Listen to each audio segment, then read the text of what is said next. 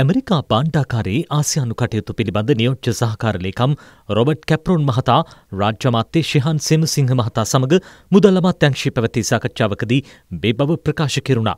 ඒ මහතා සඳහන් කළේ ශ්‍රී ලංකාව ආර්ථික ස්ථාවරත්වය කරා යාමේ නිවැරදි දිශාවට ගමන් කරමින් සිටින බවයි.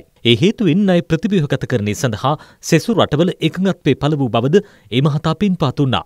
නයි ප්‍රතිබේහගත කරණය සඳහා ඇමරිකා රජය ලබාදුන් සහයටද ශිහන් සෙමසිංහ මහතා කෘතඥතාව පළ කළා.